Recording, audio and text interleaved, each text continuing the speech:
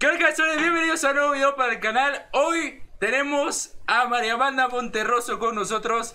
Vamos a conocerla un poquito más. Vamos a hacer una pequeña charla con ella y espero que le guste. Si es muy apoyado, pues repetimos con alguien más. Hola María Amanda, ¿cómo estás? Hola, ¿qué tal? ¿Cómo estás? Eh, ya pasando un poco el confinamiento, pero todo bien, la verdad, ya, ya un poco más libre de, hacer distintas cosas, solo que sin food todavía, que es lo que más extraño. A ver, y, durante este, es que trato, trataría o me gustaría evitar este tipo de preguntas, pero igual creo que vienen a, a, qué, por el confinamiento, ¿qué es lo que más te hizo falta? ¿Estar, estar sola o, o extrañabas a alguien? Porque igual no estás en Guatemala, tu familia está acá.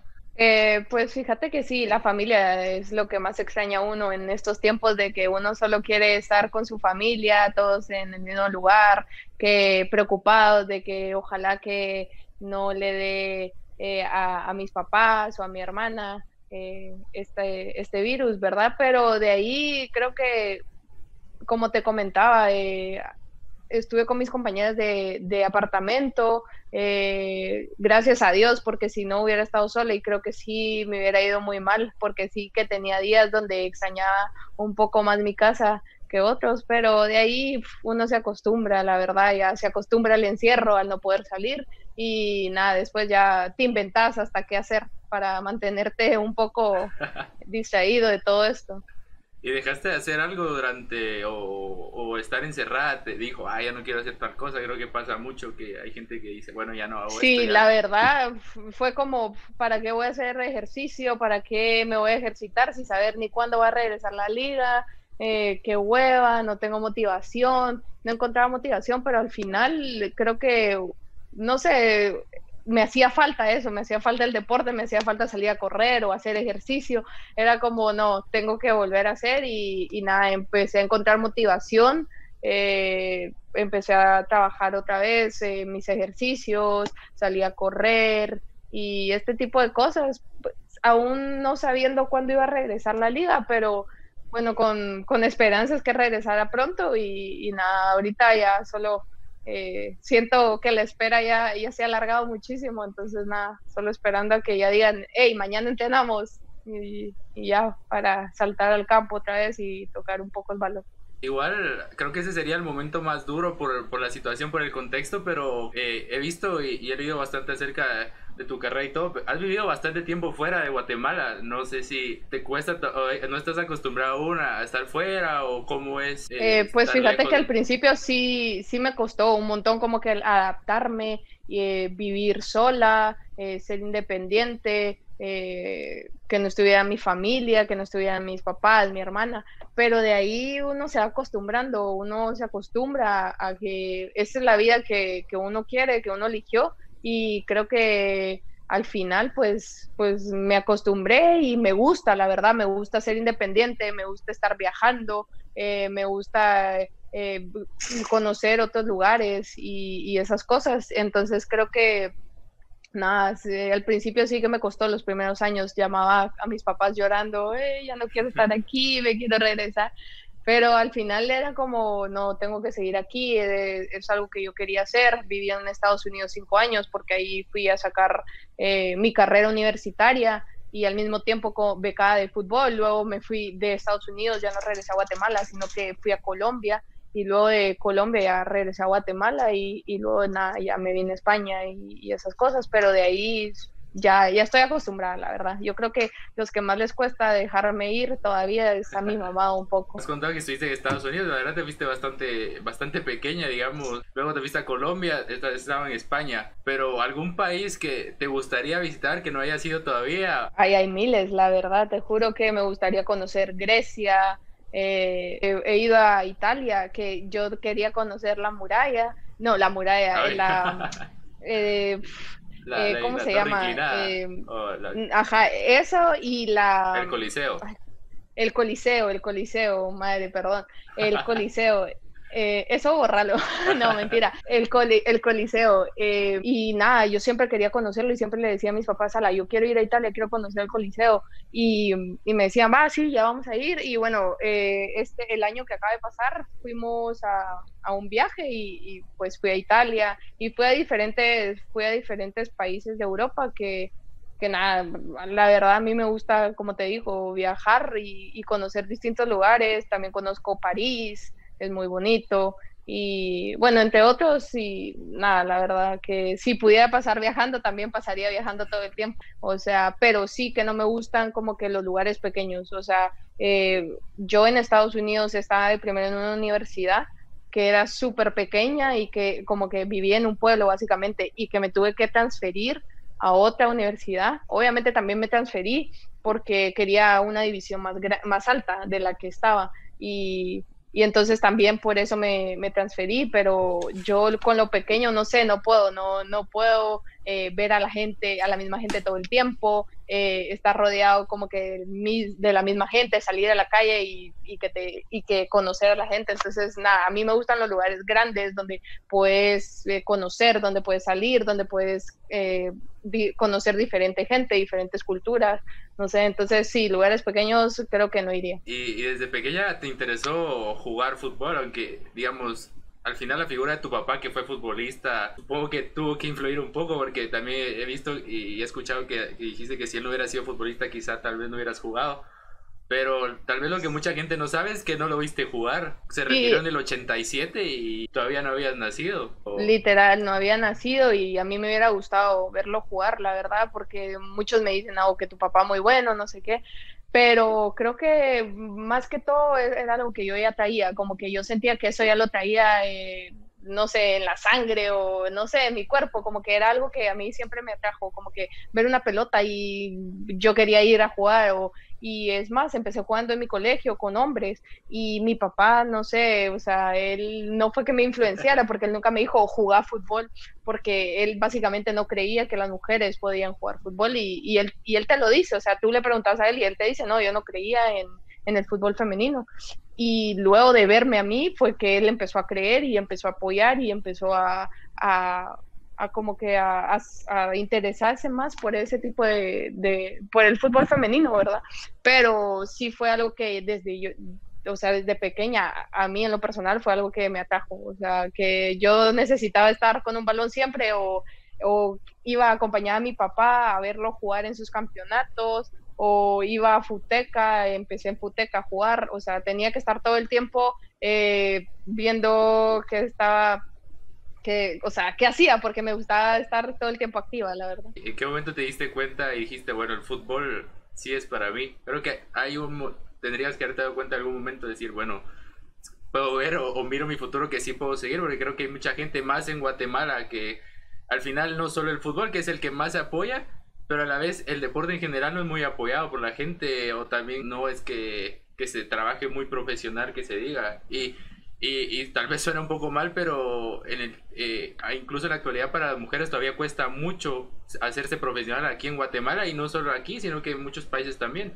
Eh, sí, yo creo que el momento en que yo dije, no, esto es eh, mi deporte, esto quiero seguir en la vida y quiero hacer estas y estas y estas cosas, no sé, fue cuando yo regresé, cuando se formó la asociación Pares, desde ahí que yo regresé con Club Menedy de irme a un campeonato a España, eh, que, nos llevaban así a campeonatos que, realizan aquí, digamos, la Gotia Cup, eh, la Donosti Cup y estas, esta, este, estos distintos campeonatos y regresar y que los papás vieran que como que sus hijas eh, tenían esa capacidad de poder realizar ese deporte y empezaron a apoyarlas y con un grupo de padres decidieron crear esta asociación y nada, o sea, desde ahí yo, yo, yo siento que, que, es, que digo, no, aquí tengo que seguir esto, esto es lo que quiero, eh, me quiero ir a estudiar afuera de los Estados Unidos cuando me gradué del colegio,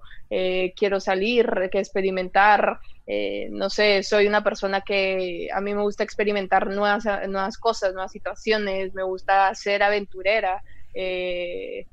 Y, todo eso me atrae, todo eso es como, no, yo quiero, yo quiero probar, yo quiero, y, estoy ahí insistiendo, insistiendo, y al principio mi, mi, mamá era la que no, que no te vayas a estudiar a los Estados Unidos, es muy peligroso, porque obviamente iba a estar sola, y yo me gradué de, del colegio a los 18 años, y dejarme ir a esa edad era como, eh, muy difícil, ¿verdad? Para una madre, pero de ahí yo le decía, no, por favor, déjame ir, yo quiero ir a jugar fútbol y a estudiar, mira que voy a estudiar, no sé qué, y va, me costó muchísimo convencerla hasta que nada, y, y, me fui, y creo que, no sé, es una, es una, es una de las decisiones eh, que no me arrepiento de haber tomado, la verdad. Eh, y nada, yo creo que desde, desde que empezó la asociación es el punto donde yo digo, esto es para mí, este es mi deporte, ni, ni nada, y empiezo como que a, a, trazarme objetivos, metas y, y, todo lo que quería yo lograr,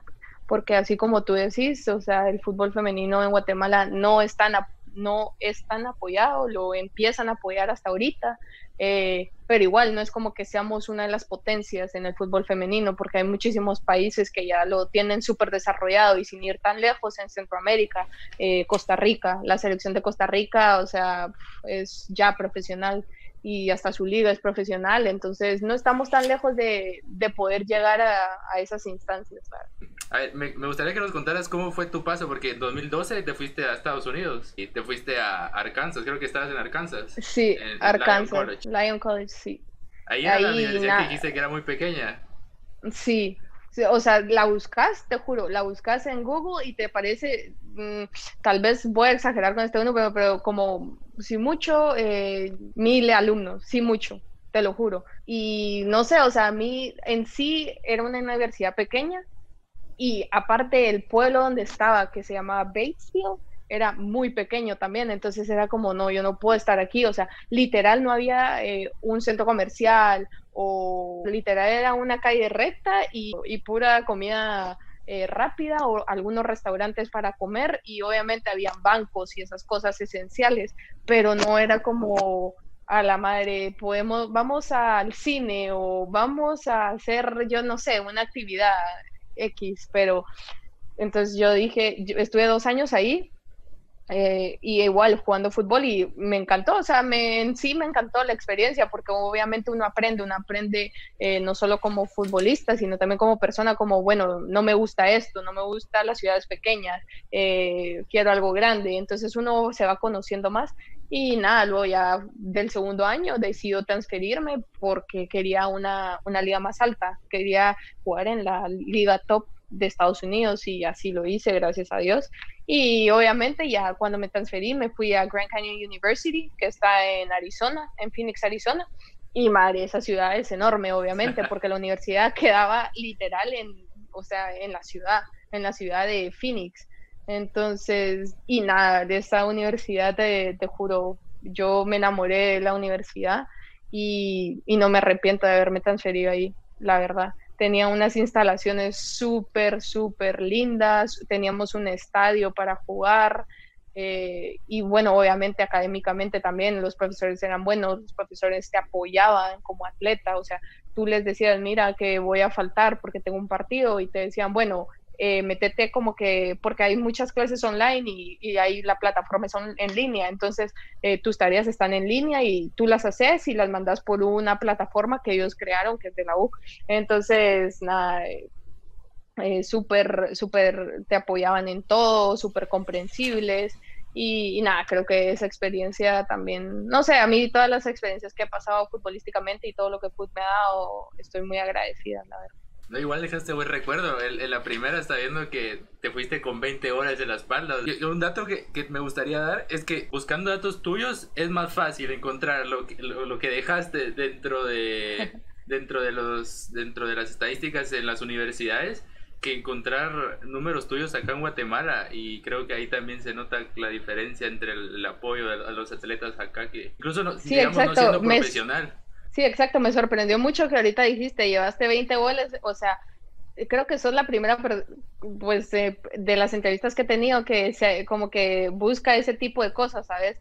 Eh, porque son cosas obviamente que, como tú decís, las llevaba ya como que eh, a mi cuenta y ya en la siguiente U tenía que destacar de la misma forma. Y obviamente en Estados Unidos, como te digo, apoyan el foot al 100, o sea, al 100, si no mira la liga profesional de, sí, porque la, la, Liga Femenina de Fútbol de Estados Unidos creo que es la mejor del mundo. Creo que ahí está la Ajá, es la top uno ahorita. Entonces, obviamente en Estados Unidos te llevan las estadísticas, cuántas asistencias diste, cuántos goles, cuántos minutos jugaste, qué partidos no jugaste, amarillas, rojas, todo, todo, todo, todo. Entonces, sí, o sea, créeme que, que en eso sí hay mucha diferencia, porque yo aquí me pregunta, mira, ¿y cuántos goles llevas con selección? Y es como, como, no sé, pero cuando lo busco tampoco es como aparecen unos campeonatos, aparecen otros no, y es como, bueno, yo creo que en este metí, no, y, así, entonces, es como que sí, como que esa parte de, de, que hayan más estadísticas sobre no solo el fútbol femenino, sino en el fútbol en general, como que hace falta también. en tu primer año en la nueva universidad, ¿te recuerdas cuántos goles echaste? Es una, una prueba, vamos a hacer un examen.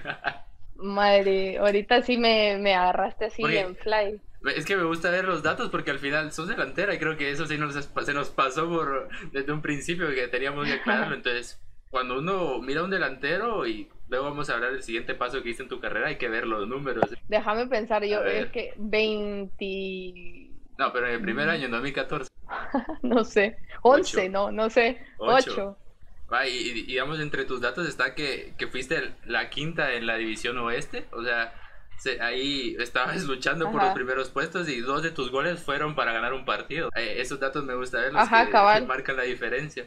¿Te gusta ver tus estadísticas? Pues sí, o sea, me gusta verlas y a veces o sea, cuando también tenemos que analizar partidos, como en selección nacional, nos toca analizar partidos, digamos, que ya realizamos, y, y verte como que jugar a mí es como, madre, hubiera hecho esto, madre, si hubiera dado ese balón, y como que uno se va fijando en las diferentes cosas que pudo haber hecho, entonces, no sé, al final sí me gusta ver mis estadísticas porque es como, me ayuda y no me ayuda, porque mucha gente es como, madre, metió ocho goles, como tú decís, en su sophomore year, y tiene que hacer más de ocho en su siguiente año. Entonces está como esa presión que, o sea, me gusta y no me gusta porque es como, madre, si no, me, si no meto gol van a decir que no, que no soy buena delantera, que no sé qué, y miles de cosas, pero como tú decís, al final los equipos cuando hacen sus contrataciones, eh, digamos, si sos delantera, ven, ah, va, metió goles, ah, sí, sí, estuvo, dio tantas asistencias, siendo delantera o esto o lo otro. Entonces se fijan en esas cosas.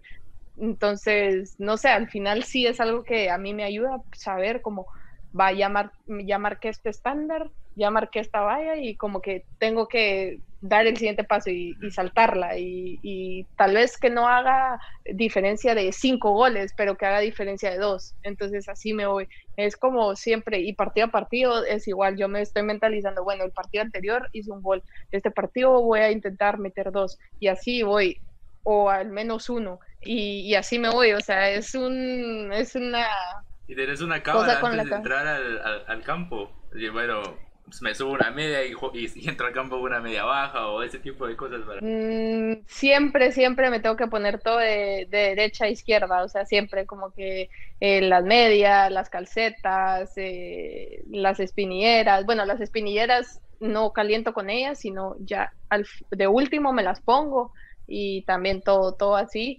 y nada, o sea, no sé, creo que uno va creando cábalas conforme el tiempo, uno se va dando cuenta, ay, yo eh, esta es mi cábala o tal vez empieza a hacer ciertos hábitos que uno no se da cuenta y al final es como lo sigue haciendo y ya te das cuenta, ah, puchis, lo hago siempre, entonces me da buena suerte o cosas así, pero, pero no, o sea, eh, me gusta también eh, usar un sports bra que tengo color verde siempre para los partidos, no sé, se me hace más cómodo, pero son cosas así que uno dice, ah, o sea, son tontas, pero...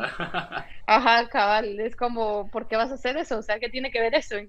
Pero tal vez mucha gente no lo entiende, pero, o sea, no sé, al final yo me entiendo y es como, bueno, estoy cómoda, tengo todo lo que necesito y ya está. ¿Y en los vestuarios alguna vez has visto alguna cábala que digas, pucha, es que rara? Tal vez sin decir nombres porque quizás le vas a quitar su buena suerte, pero ¿has visto alguna que te sorprenda? Mm, no, ahorita que me preguntas, sí, no, la verdad que no eso de tal vez ponerse una media o subirse una media o ponerse el pelo de cierta manera o usar, no sé, una licra de un color o usar, no sé, hasta ropa interior. Hay mucha gente que dice, ah, no, yo tengo que usar esta ropa interior. Eh, pero no sé, que me ha parecido así como, madre, qué raro que me ponga a pensar ahorita, no. Y el tema de goles, he visto que te gusta dedicar a veces tus goles, bueno, cuando estás acá, eh, ¿tienes alguna celebración ya pensada o, solo, bueno, gol y... No, la verdad que... no, la verdad que hay, hay muchos juegos en que, mm, no sé, como con selección nacional, me recuerdo que eh, hago celebraciones, pero es como, eh, como sentir eso, ¿sabes? De estar jugando con selección nacional y, y, no es como que lo haga siempre, no sé, siempre cambio mis celebraciones, a veces es como solo grito o no sé, me emociono, pero no es como Cristiano que tiene una, una celebración siempre y la hace siempre, ajá, o Messi que también tiene una, o Neymar, Mbappé, o todos estos pero no sé, creo que hago lo que me salga en el momento, porque de tanta emoción es como, ya ni sé qué hacer, se me olvida. Y, ya analizando un poquito tu juego, dijimos, bueno, las estadísticas eh, entre sí, no me gusta verlas por la presión, por no, y así, pero ver tus jugadas y ver eso sí te gusta. Sí, sí me gusta porque como te decía, es como, bueno, hice esto mal, creo que lo pude haber mejorado, eh, llegué tarde al centro o eh, me quedé esperando mucho o sostuve mucho el balón o cosas así. Entonces yo creo que, no sé, son todas esas cosas que te ayudan a, a, saber qué, qué, hacer y en qué momento, no sé, o a mejorar ciertas cosas de, de tu fútbol. Entonces yo creo que es bueno verse, bueno, bueno verse jugar fútbol, digamos, si te graban un partido, verlo y decir, bueno, esto y esto y esto. Y además que mi papá también, obviamente, muchos años ha sido mi director técnico y, como que él también es como una, una ayuda extra que me dice, mira, hiciste esto mal, ese movimiento que hiciste lo pudiste haber hecho de tal manera o a mí siempre, digamos, yo he sido, de cuando era pequeña yo era muy necia, muy necia y muy terca y yo creía que lo sabía todo y que no, no, me dijera nada porque yo iba a hacer lo que se me diera la gana, literal. Y mi papá obviamente me hizo entender que no era así, o sea, con castigos, digamos, yo estaba jugando, me recuerdo de esta vez también porque fue algo que yo me quedé como, ok, que estaba en un partido y, no le hacía caso, porque en los, en los movimientos tácticos obviamente uno tiene que ser súper, eh, hacer los, los movimientos exactos, si no, dejas espacios o le das ventaja a la rival.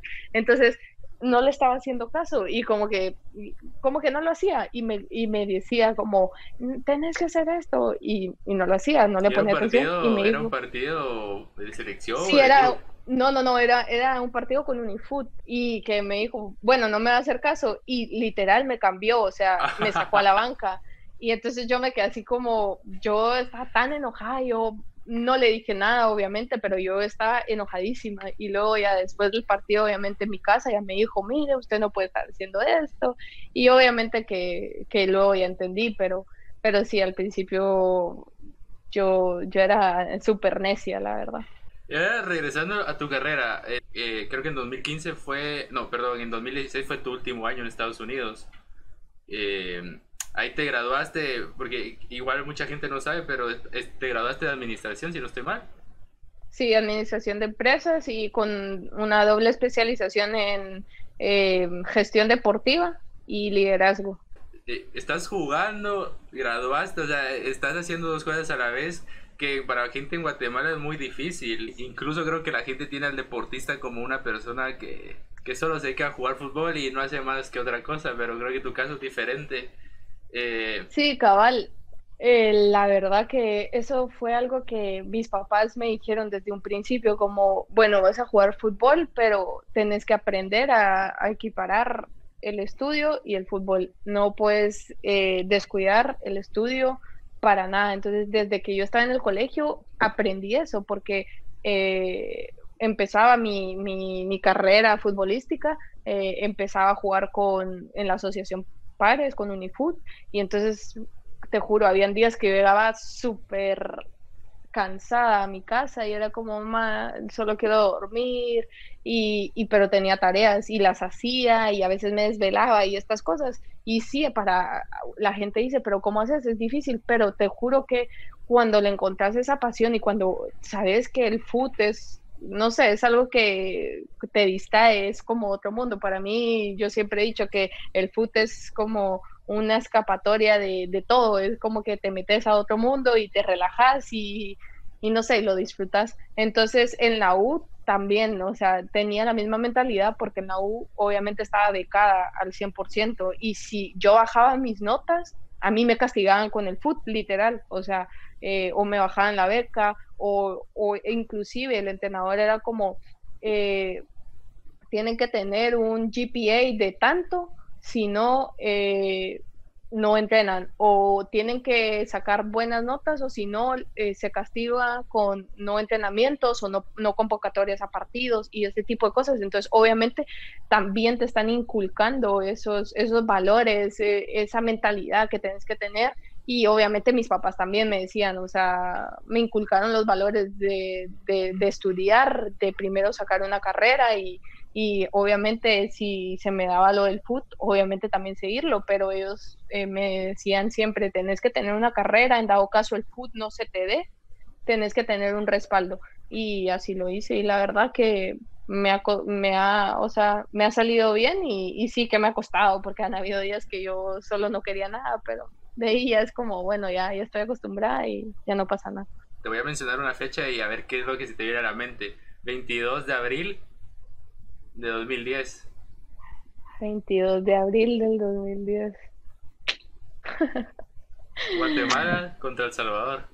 Mi primera selección, ¿no? Sí, tu primera selección. ¿Qué sentiste representar la camiseta? Porque supongo que cuando estás pequeña dices, mi sueño es, creo que al final de, todo deportista, de futbolista de élite es, quiero jugar para mi selección. No sé si Li pensaba sí, lo mismo. Literal. Sí, no, o sea, como te digo, o sea, ese es otro de los sueños que yo también quería eh, en mi vida y, y no sé, lograrlo fue como una satisfacción de saber que todo el trabajo que había realizado estaba dando sus frutos. Y no sé, o sea, la primera vez que me dijeron, estás convocada y estaba convocada a la selección eh, mayor, entonces era como, como, wow, como, o sea, sí estoy haciendo las cosas bien, sí estoy trabajando bien, sí está dando resultados todo este trabajo, toda la perseverancia y, o sea, no sé, y en ese, en ese, en esa eliminatoria meto gol. Entonces es como, no sé, es solo satisfacción poder representar a Guatemala. Yo siempre lo he dicho, no hay, no hay nada más lindo, más satisfactorio, más emocionante que escuchar el himno de Guatemala en cada partido antes de empezar y, y no sé, sudar esa camisola al 100 es como, no sé, un sueño, un sueño hecho realidad. Y en 2017 te fuiste a Colombia, o sea, sin venir a Guatemala de Estados Unidos a Colombia. ¿Cómo se da? ¿Cómo se te empieza a gestionar la, la oferta o decir, uy, me quieren en Colombia? ¿Cómo fue ese proceso? Porque yo me gradué, o sea, yo, yo me gradué, pero todavía, digamos, eh, necesitaba terminar eh, uno de los dos, eh, unas de las dos especializaciones que estaba sacando. Entonces me quedé un año más y yo dije, bueno, después de aquí necesito buscar algo más, o sea, necesito, quiero seguir jugando, es que eso es lo que quiero. Y bueno, como mis papás siempre, siempre, bueno, mi familia en general me ha apoyado en todo, en todos los sueños que he tenido, en todas las cosas que he realizado en mi vida, siempre han estado ahí, eh, mis sueños locos les llamo yo. Y nada, ellos siempre han estado ahí, entonces me dijeron, bueno, te quieres ir, pero, o sea, empecé a buscar, empecé a ver y te juro, eh, empecé a mandar correos a todos los equipos que se me ocurrían. No, en serio, hasta hice una, un, un, un documento en Excel o sea, de los equipos, los separé por países, los separé, digamos, el nombre del entrenador y el correo y tal, así, o sea, era loquísimo, loquísimo, pero sí, yo empecé a buscar y cabal se me dio esta oportunidad en Alianza Petrolera, que también está Ricardo Jerez, no sé si... sigue jugando soy... Ajá, sí, exacto, entonces él también me habló y me dijo, mira, me están contando que querés venir aquí y yo, sí, es que eh, la verdad estoy muy interesada y esas cosas. Entonces, él también me ayudó para, o sea, para hacer esa conexión. Y nada, o sea, cuando yo llegué a Colombia, él, él y su familia no, me recibió de, de la mejor manera. Fue súper, súper, súper bonito toda esa experiencia y, y, ahí fue cuando se me dio esa oportunidad y, y nada, estuve un año ahí. ¿Y ese viaje qué significaron para ti, Gloria Aguilar y Jocelyn Franco? Porque vi que ellas dos también fueron al, al mismo equipo, Ajá, a Colombia. Ajá, exacto, porque cuando me dijeron a mí, eh, luego el entrenador, no sé, como que me empezó a preguntar sobre si conocía a alguien más, pero también como Ricardo Jerez es portero y también le preguntaba, mira, necesitamos una portera, él, él también recomendó a, a la Noé, eh, porque es portera, porque Ricardo la conoce, entonces eh, la Noé empezó a hablar el entrenador y me dijo, mira, tú te vas a ir, no sé qué, yo sí, yo creo que yo me voy, y me dijo, bueno, entonces yo también. Entonces de ahí ya el entrenador me dijo, mira, no sabes de alguna defensa, no sé qué. Y fue cuando yo le dije, mira, yo conozco a una, te recomiendo a esta persona y Cabal también.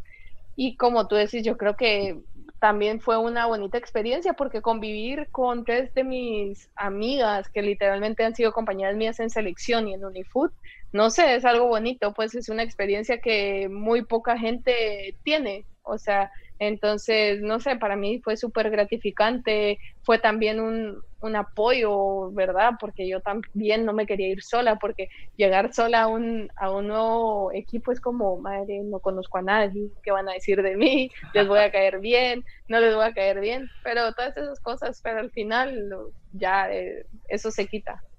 ¿Y Unifood qué significa para ti? Unifood, Unifood es mi casa. La verdad es mi segunda casa, es una familia. Yo en Unifood eh, he vivido muchísimos años, o sea, años inolvidables, eh, diferentes campeonatos, diferentes eh, finales, campeonas de, del Interclubs de UNCAF. Para mí Unifood siempre va a ser mi segunda casa. Yo sé que si me regreso a Guatemala, Unifood siempre va a estar ahí con los brazos abiertos para recibirme. Y nada, todas las, todas las amigas que, que he formado ahí, que he creado, todos los valores que he aprendido, todo lo que he crecido futbolísticamente. Eh, y, y, nada, y estoy ahí, aquí, o sea, gran parte por cómo me formó esa asociación. Entonces, nada, solo estoy súper agradecido con todos ellos. Y es Unifoot el club más grande de Guatemala. Obvio, Unifoot es el club más grande de Guatemala. Cuando te da la oportunidad para irte a España, eh, ¿qué fue lo primero que se te pasó por la mente o cómo empezaste a gestionar eso? Mm, mira, cuando yo estaba en Guatemala, estaba trabajando y obviamente estaba jugando en Unifoot. Entonces yo estaba trabajando en Global Sports Corporation, que es una empresa que, trajo que llevó a la Juventus Academy a Guatemala. Entonces yo básicamente trabajaba como coordinadora deportiva en esa empresa. Entonces yo estaba involucrada en fútbol, aunque no estuviera, porque ese año no jugué porque tuve una lesión. Entonces aunque yo no estuviera jugando, yo estaba involucrada en fútbol, entonces yo no era como que me sentía mal o a la madre que triste que no pueda jugar, porque seguía involucrado, o sea, seguía en torneos y estas cosas. Entonces, cuando me llega a mí la, no sé, la, la oferta, hablo con mi jefe, que con mi jefe yo me llevo, o sea, con mi ex jefe, porque ya no es, me llevo súper bien, me llevo súper bien, la verdad, o sea, llegué a formar una como conexión súper, súper cool, ¿verdad? Que eh, los dos estábamos ahí metidos en, mira esto, nos dábamos ideas y así, y, y le digo, o sea, mira, tengo esto y esto y esto y esto, y me dice, lo primero, él no me dijo, mira, quédate, él me dijo, mira, andate, toma la, la, toma la oportunidad, esas oportunidades no llegan dos veces, no tocan a tu puerta dos veces, andate. Y yo, madre, o sea, yo no quería irme porque obviamente yo le había agarrado cariño a esa empresa, porque, no sé, porque me dio la oportunidad, porque yo estaba creciendo eh, en, en, en, en, lo personal y era algo diferente, algo distinto. Entonces sí fue como me costó tomar esa decisión porque la pensé y luego estaba Unifoot y era como, madre, voy a dejar a Unifoot, pero yo sabía que Unifoot también me iba a apoyar porque lo primero cuando les dije me dijeron, ándate, o sea, sabes que aquí va a estar tu casa, aquí cuando regreses vas a tener las puertas abiertas, ándate. Y así fue, pues, o sea, me apoyaron y al final, o sea, tomé la decisión porque sí, como ya te había dicho, yo soy una persona que me gusta experimentar, que me gustan las nuevas experiencias, que me gusta arriesgarme. Toda mi vida he pasado arriesgándome y arriesgándome y arriesgándome y un, un reto nuevo, un reto nuevo, un reto nuevo. Entonces, no sé, ya estoy como, eso, eso me, esto me gusta, eh, cambiar como de aires, eh, no sé, no sé me gusta mucho. Al final, tu estadía en Extremadura no fue tan larga. No te fue mal en, partidos por gol. O sea, 15 partidos, 11 goles. Y creo que al final empezaste a marcar diferencia cuando llegaste y todo. ¿Cómo te recibieron cuando, cuando dicen, bueno, miren, les presento a su nueva compañera? ¿Cómo te sentiste ahí? No, eh, estaba súper nerviosa porque no conocía a nadie, como te dije, o sea, no conocía a nadie, eh, era mi primer año, eh, ahí sí me fui sola porque no, no era como que me fui con dos guatemaltecas o algo así, o una amiga, entonces estaba completamente sola y era como, yo siempre les decía a mi mamá, le decía, la, es que no sé cómo me van a recibir, tal vez ni les caigo bien y estas cosas, entonces eh, fue como la primera impresión, no sé, ellas tal vez pensaron, eh, ¿esta qué hace aquí? No sé, la verdad, pero al final ya, o sea, súper bien, o sea, me empezaron a hablar, me empezaron a involucrar más, me empezaron a, ya decir, mira, que vamos a ir a, no sé, a tomar un café, venite, vente, no sé qué, y entonces uno ya se va soltando, se va soltando y, y nada, al final fue una linda experiencia, o sea, hice muy buenas amistades, eh, como tú decís, hice 11 goles, eh, fui la goleadora de mi equipo, eh, gané el mejor gol de noviembre, del mes de noviembre, o sea, son cosas que marcaron mi etapa en el Extremadura y creo que van a quedar ahí por mucho tiempo, ¿sabes? Y, y fue corta mi etapa porque obviamente, no sé, me llegó esta oferta y obviamente yo tengo en mente llegar a la Liga Iberdrola eh, en, no sé, el otro año, en dos años, cuando, o sea, cuando se me dé la oportunidad. Entonces, este paso que, que yo di para venir aquí, no sé, es algo que yo necesitaba para, para estar un poquito más cerca de, de la Liga Iberdrola. Entonces, eh, nada, la verdad, a trabajar y, y a ver qué tal.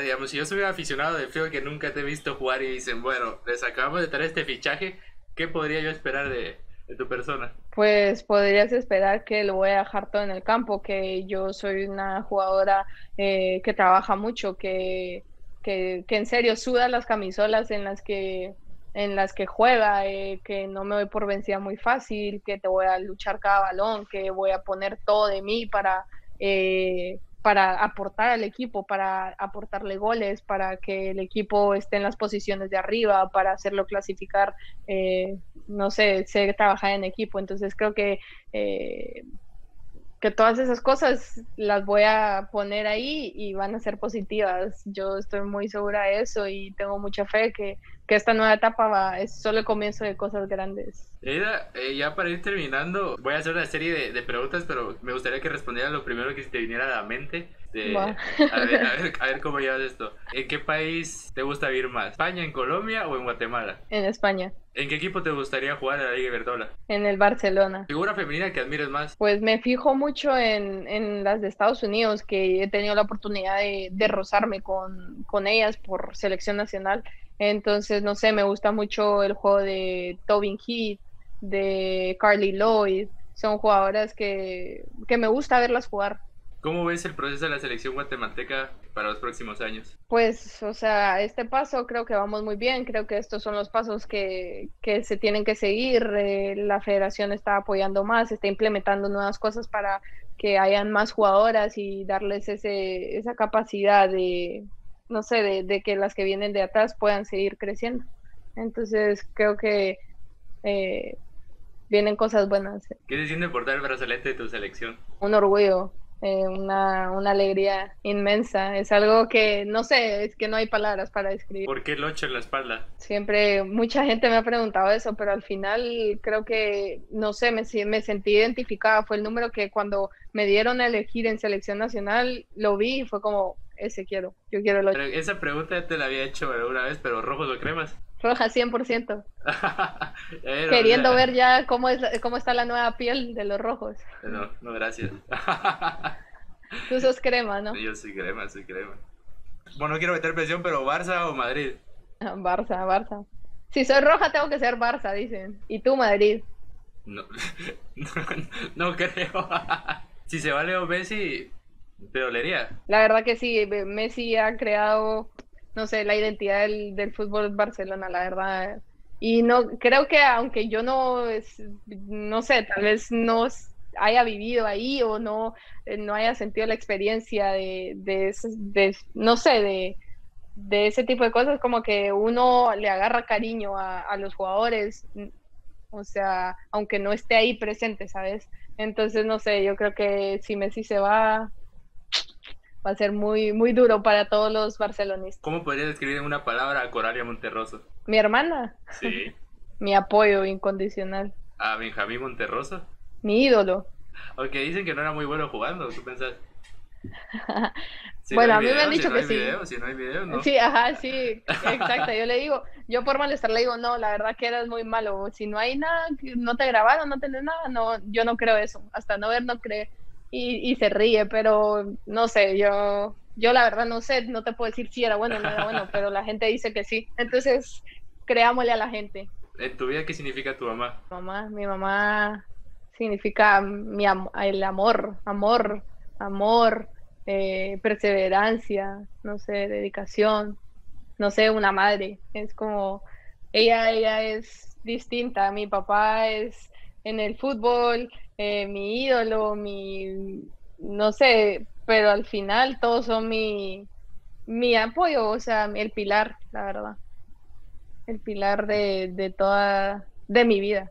Bueno, no sé, ¿te gustaría dar unas palabras de despedida o algo para la gente que, te apoya, que te ve, que, igual te está esperando el día que vuelva a jugar la selección acá, que ya se puede ir al estadio? No sé, ¿algún mensaje para Pues nada, solo a ti, gracias por, por ser eh, la primera en que hagas esto. Eh, mi madrina pues, de entrevistas. Ajá, tu madrina de entrevistas. Eh, nada, gracias por elegirme a mí. Eh, en serio que estuvo muy bonita la entrevista, me gustó, súper distinta a muchas que he tenido. Eh, y nada, decirle a la gente que me apoya, que sigue mi carrera, que sabe sobre mí, que gracias por ese apoyo, que en serio se siente, se siente bien, se siente bien, se siente que, que no sé, que la, que la población en Guatemala esté eh, al pendiente de toda tu carrera es algo lindo, porque saber que que has dejado cosas buenas en el pasado, eh, no sé, eh, te da una satisfacción enorme.